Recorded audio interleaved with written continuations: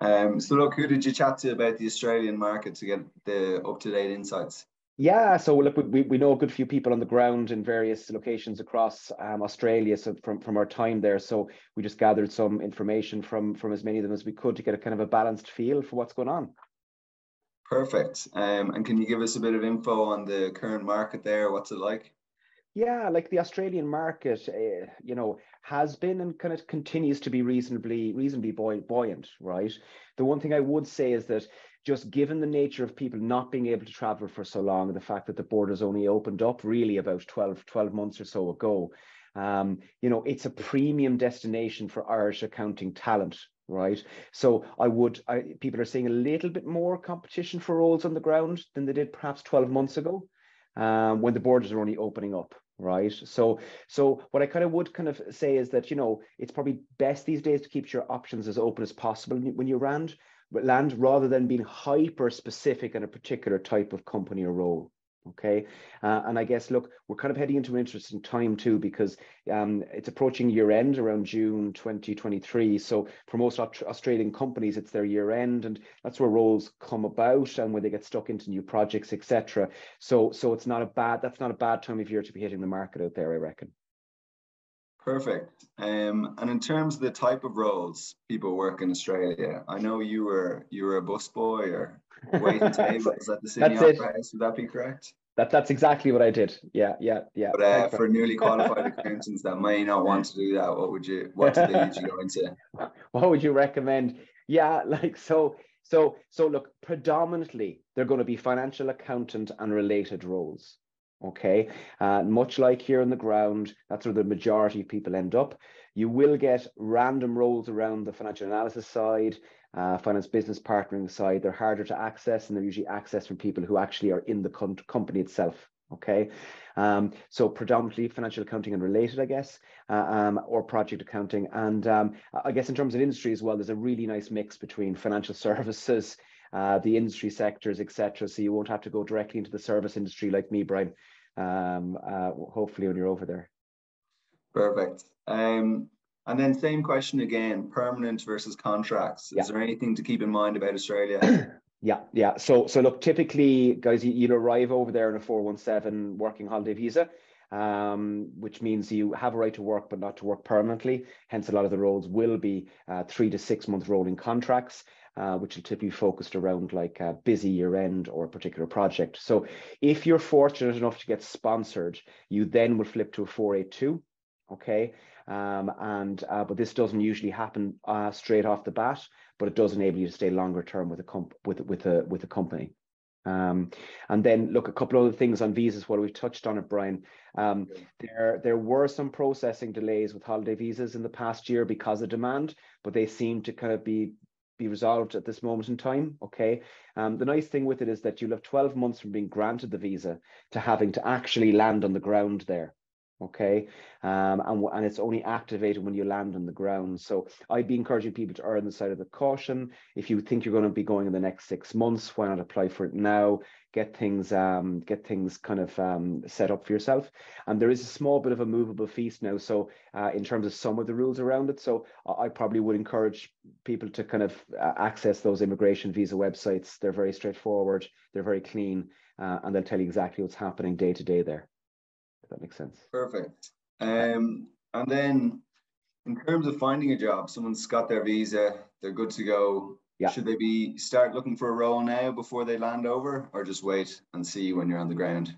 Yeah, look, if you asked me a question four or five years ago, I'd have said there's no point starting to look until you actually land on the ground. But much like Siobhan says, said, and some of our other speakers will stay, say, the fact that people have gotten used to virtually interviewing and onboarding means that there is a there's an increase uh, hope that you could actually do that. Okay, so some people want to arrive with the security of the role. Um, some other people are like to do a little bit of traveling first and settle into the job okay so so it all depends on your personal preference and and you know remember proximity to where you work say in a sydney you know you might want to work in a particular uh, area of sydney and live in a particular area of sydney so sometimes it's better to get a feel for it on the ground before you land over okay um so so look regardless of which route you take whether it's from here or when you land you're probably looking like something between one to three weeks in terms of an actual search process if you if you if you go about it properly, I guess. Okay. Um, recruiters in the finance space are very prevalent in the major markets like Sydney and Melbourne and Perth. Okay. So, so look, with a recruiter where you have direct access to hiring managers, it could be as short as one to two weeks. Okay. In terms of search process. Um, if you land and you're applying directly to roles as you arrive, uh, it can take a little bit longer. Okay. Because you don't have that direct hiring manager access. And sometimes there's a higher chance of being lost between the cracks, I guess, if there's 250 people applying for a particular job, I guess, you know. So, so, but look, you should be sorted within three weeks unless you're being hyper specific about what you're looking for. That would probably be my my my, my best tuppence on that. Yeah, makes sense. And you mentioned figuring out where you might live. Realistically, 98% of people on this call will be living in Coogee or Bondi, so don't need to worry about that. Um, Next question then, in terms of sponsorship, like what is the likelihood of people getting sponsored? Is it common? Is it hard to do? Yeah, I, I wouldn't set out thinking that you're going to get sponsored straight off the bat. Uh, kind of mentioned it earlier, you, you tend to take on a contract role, prove yourself within that business, and then they actually take on the responsibility and the cost to actually sponsor you because you're a known entity okay? And there's other complications that occur for companies when they need to sponsor like they'll have to advertise the role in the public domain uh, for up to a month to prove to the government that there isn't local talent. So you know it, it is trickier than than it might seem on the surface okay um, but still there's plenty of examples of good irish trained accountants getting sponsored over the years right but that's a year two thing i reckon and what happens if you get to the end of year one without mm-hmm. sponsorship, but you want to stay? Is there a backup yeah. plan? Sure, there sure is. So it involves typically uh, taking on a what's the language around it, some type of agricultural or related activity for a three month period. So so some people uh, pick oranges, okay. Which, by the way, guys, if you're thinking picking oranges is straightforward, it's probably the most grueling job you'll ever do in your life. Okay, I I did have someone one time who spent three months uh, working with a carnival and going town to town with a carnival, and that qualified as agricultural work in some weird way. So, so, so there, there's there's ways to go about it, right, depending on your preferences. But it's kind of like uh, giving back to the community piece before you can re-engage in your second twelve month commitment. Yeah, fair, fair. So Plan B isn't all that bad, I don't think. Not um, terrible. So perfectly, or perfect. Um, next then, average pay rate. Um, do you have a range there that you know?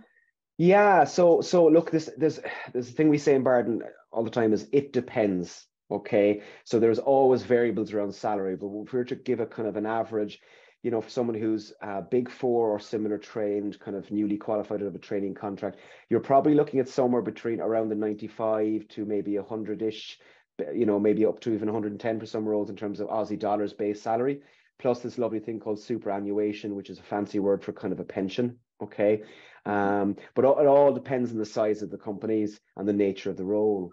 Um, then if you're someone who's got that little bit of pqe maybe a year of experience okay outside of your training contract it kind of is a bit funny because if it's a, an additional year maybe an audit um, it mightn't be seen as compounding your experience or sorry diversifying your experience. If it's a year experience maybe working uh, outside of practice or in another consulting role. Diff that year can have different value depending okay? Um, but in general salaries can vary from maybe you know up to maybe that kind of 105 110 maybe up to 120k base plus plus super okay? So super superannuation is pension schemes i said okay and um, all employees are re- uh, required to contribute to the fund and your employer then makes a contribution. So right now the rate is set at circa about 10%. Okay, so you got to factor that in. Your 120k base or whatever is not 120k base; it's minus super. Okay? okay, but you can reclaim that when after a period of time when you leave. Yeah, but it does get taxed at 65% or something like that. So. Ah, yeah, yeah, yeah, yeah, yeah. Not uh, ideal. Perfect. Well, Ed, just to wrap up Australia, then top three tips for anyone making the move. Yeah. So look, listen. Depending on what route you want to take in terms of accessing jobs, the the the the, the general would be first of all, there will be higher high enough competition for roles on the ground. So do try to differentiate differentiate yourself from others uh, in terms of your CV, in terms of how you articulate yourself, etc. And look, the Barden template that we use here in Ireland is, is very good and applicable on the ground. Okay, so do do seek that out if you can. Um, I guess the other thing is that you might be over there on a working holiday visa, right? But there's the work is a word associated with it too. So when you're going in to actually interview over there on the ground, make sure you prepare for it like any interview you would here in Ireland. Okay, so it's just put the work in. Just being because you're a chartered accountant and you can chat away, I guess, doesn't mean that you're not you're going to be guaranteed to get the job. Okay, and you know what? Something that people trip up on a lot, Brian, is just the basics of accounting. The stuff that you might have studied but not have used. You know, what's the difference? Uh, how to account for an accrual or prepayment, or explaining what they are. Don't underestimate how important nailing the basics are right?